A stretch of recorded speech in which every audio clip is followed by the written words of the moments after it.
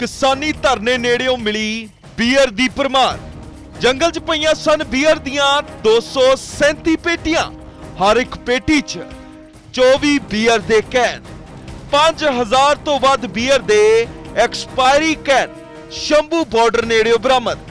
ਕਿਸਾਨਾਂ ਨੇ ਪੁਲਿਸ ਨੂੰ ਕੀਤਾ ਸੂਚਿਤ ਜੰਗਲ ਪਾਣੀ ਗਏ ਕਿਸਾਨਾਂ ਨੂੰ ਲੱਭੀਆਂ ਸੀ ਇਹ 237 ਸ਼ਰਾਬ ਦੀਆਂ ਪੇਟੀਆਂ। ਤਾਂ ਬੀਅਰ ਇਹਨਾਂ ਪੇਟੀਆਂ ਦੇ ਵਿੱਚ ਭਰਮਾਰ ਹੈ।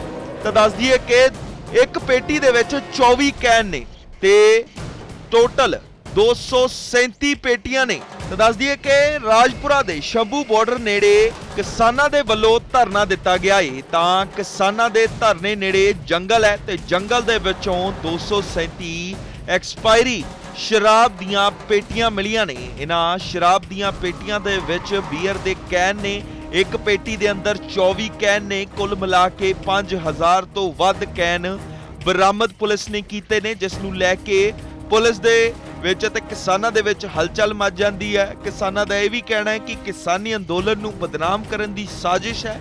ਹਾਲਾਂਕਿ ਇਹ ਸਾਰੀ ਪੇਟੀਆਂ ਐਕਸਪਾਇਰੀ ਨੇ, ਕੀ ਹੋ ਸਕਦਾ ਹੈ ਕਿ ਐਕਸਾਈਜ਼ ਵਿਭਾਗ ਵੱਲੋਂ ਜਾਂ ਫਿਰ ਇਹ ਵੀ ਮੁਮਕਿਨ ਹੈ ਕਿ ਕਿਸੇ ਵੱਡੇ ਸ਼ਰਾਬ ਦੇ ਤਸਕਰ ਦੇ ਵੱਲੋਂ ਜਦ ਇਹ ਬੀਅਰ ਦੇ ਕੈਨ ਐਕਸਪਾਇਰੀ ਹੋ ਗਏ ਇਹਨਾਂ ਦੀ ਡੇਟ ਲੰਘ ਗਈ ਪੀਣ ਵਾਲੀ, ਤਾਂ ਇਹਨਾਂ ਨੂੰ ਸੁੱਟ ਦਿੱਤਾ ਗਿਆ। ਹਾਲਾਂਕਿ ਪੁਲਿਸ ਹੁਣ ਜਾਂਚ ਕਰ ਰਹੀ ਹੈ ਤੇ ਜਾਂਚ ਤੋਂ ਬਾਅਦ ਕੀ ਸਾਹਮਣੇ ਆਉਂਦਾ ਹੈ, ਇਹ ਆਉਣ ਵਾਲਾ ਸਮਾਂ ਹੀ ਦੱਸੇਗਾ। ਉਹਨਾਂ ਚਿਰ ਜਿਹੜੇ ਕਿਸਾਨ ਨੇ ਸਭ ਤੋਂ ਪਹਿਲਾਂ ਦੇਖੀ ਸੀ ਇਹ ਸ਼ਰਾਬ ਦੀਆਂ ਪੇਟੀਆਂ, ਆਓ ਉਸ ਦੇ ਨਾਲ ਗੱਲਬਾਤ ਕਰਦੇ ਹਾਂ। ਸਾਡਾ ਕਹਿਣਾ ਇਹ ਹੈ ਜੀ, ਅਸੀਂ ਸਵੇਰੇ ਯਾਰ ਲੈ ਗਏ ਜੀ ਉਧਰ, ਜਾ ਕੇ ਸਪੈਂਡਾਂ ਦੇ ਵਿੱਚ ਦੇਖਿਆ, ਉੱਥੇ ਗੱਡੀ ਆਪਣੀ ਲਾਹੀ ਹੋਈ ਸੀ, ਇਹਦੀ ਜੀ ਬਿਹਾਰ ਦੀ। ਉਹ ਦੇਖ ਕੇ ਅਸੀਂ ਦੇਖ ਕੇ ਉਦੋਂ ਬਾਅਦ ਦੇ ਵਿੱਚ ਦੋਨੇ ਇਕੱਠੇ ਹੋਏ ਤੇ ਉਦੋਂ ਬਾਅਦ ਪੁਲਿਸ ਨੂੰ ਸੂਚਨਾ ਦਿੱਤੀ ਜੀ। ਵੀ ਪੁਲਿਸ ਨੂੰ ਸੂਚਨਾ ਦਿੱਤੀ ਤੇ ਤੇ ਉਦੋਂ ਬਾਅਦ ਪੁਲਿਸ ਨੇ ਆ ਕੇ ਆਪਦੀ ਕਾਰਵਾਈ ਕੀਤੀ ਉਹਨੂੰ ਲੈ ਕੇ ਗਿਆ ਚੱਕ ਕੇ ਤੁਹਾਨੂੰ ਪਤਾ ਲੱਗਿਆ ਜੀ ਕੌਣ ਉਤਾਰ ਕੇ ਗਿਆ ਸੀ ਜੀ? ਨਹੀਂ ਜੀ ਸਾਨੂੰ ਨਹੀਂ ਪਤਾ ਇਹ ਕਾਹਦੇ ਤਾਰੀ ਆ ਉਹ ਦਿਨੇ ਤਾਰੀ ਆ ਜਾਂ ਰਾਤ ਨੂੰ ਤਾਰੀ ਆ। ਕੋਈ ਗੱਡੀ ਵਗੈਰਾ ਇੱਧਰੋਂ ਕੋਈ ਦੇਖੀ ਹੋਏ?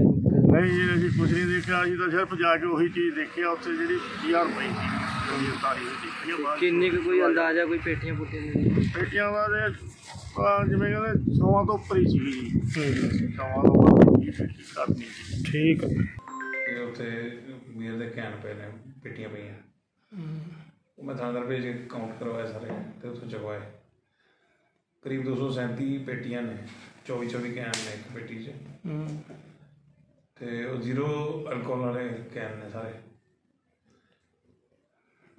ਐਕਸਪਾਇਰੀ ਡੇਟ ਹੋਈ ਵੀ ਇਹਨਾਂ ਦੀ। ਬਾਕੀ ਕਿੱਥੋਂ ਆਏ ਕਿਵੇਂ ਕਿ ਕੌਨਸੈਪਟ ਗਿਆ ਉਹ ਅਸੀਂ ਇਨਵੈਸਟੀਗੇਸ਼ਨ ਕਰ ਰਹੇ ਹਾਂ। ਜਲਦੀ ਪਤਾ ਲੱਗ ਜੂਗਾ ਅਸੀਂ ਕਾਰਵਾਈ ਕਰਾਂਗੇ ਜਿਹੜਾ ਸਰ ਇਹ ਕਿਸਾਨੀ ਜਿਹੜਾ ਧਰਨਾ ਲੱਗਿਆ ਉਹਦੇ ਬਿਲਕੁਲ ਨੇੜੇ ਮਿਲਣ ਦਾ ਜਿਹੜਾ ਹੈ ਜਿਹਨਾਂ ਵਾਲਾ ਇਹਦਾ ਕੋਈ ਹੈ ਇਹਦੇ ਨਾਲ ਕੋਈ ਘੱਟ। ਇਹ ਕਿਸਾਨਾਂ ਦਾ ਕੋਈ ਤਰਲੇ ਨਹੀਂ ਹੈ ਤਾਂ ਕਿਸੇ ਨੇ ਐਕਸਪਾਇਰੀ ਵਾਲੀਆਂ ਸਾਰੀ ਸਰਟੀਫਿਕੇਟ ਉਹਦੇ ਉੱਤੇ ਡੰਪ ਕਰ ਗਿਆ ਨਹੀਂ ਅਗਰ ਸਰ ਜੇ ਕੋਈ ਮਤਲਬ ਕਿਸਾਨ ਜਾਂ ਕੋਈ ਹੋਰ ਵਗੈਰਾ ਪੀ ਲੈਂਦਾ ਹੈਗਾ ਹਾਨੀ ਕਾ ਹਾਨੀਕਾਰਕ ਹੈ ਪੀਣ ਵਾਸਤੇ? ਐਕਸਪਾਇਰਡ ਹੈ। ਹਨੇਰ ਤਾਂ ਹੈਗੀ। ਹੈ। ਹੂੰ ਤਾਂ ਐਡਾ ਬੰਦਾ ਦਲੇਰ ਸੀਗਾ ਜਿਹੜਾ ਮਤਲਬ ਉਹਨੂੰ ਇਹ ਨਹੀਂ ਡਰ ਲੱਗਿਆ ਕੋਲ ਕਿਸਾਨ ਵੀ ਬੈਠੇ ਆ ਥਾਣਾ ਵੀ ਨੇੜੇ ਹੈਗਾ। ਤੁਸੀਂ ਦੇਖੋਗੇ ਤਾਂ ਸਿੱਟ ਕੇ ਅਗਲਾ ਇੰਨੀ ਮੀਟਿੰਗ ਗਿਆ। ਹੂੰ। ਕੁਝ ਸੋਚ ਕੇ ਅਗਲਾ ਜਗ੍ਹਾ ਦੇਖ ਦੂ ਕਿ ਗਿਆ ਹੋਣਾ ਬੰਨਾ ਰੇਕੀ ਕੀਤੀ ਹੋਈ ਸਾਰੀ। ਨਹੀਂ ਨਹੀਂ ਸਰ ਅਗਰ ਜੇ ਕੋਈ ਬਾਈ ਚਾਂਸ ਪੀ ਲੈਂਦਾ ਤਾਂ ਉਹਦੀ ਤਾਂ ਹੈ ਸਿਹਤ ਲਈ ਹਾਨੀਕਾਰਕ ਹੈ। ਹਾਨੀਕਾਰਕ ਹੈਗੀ ਜੀ।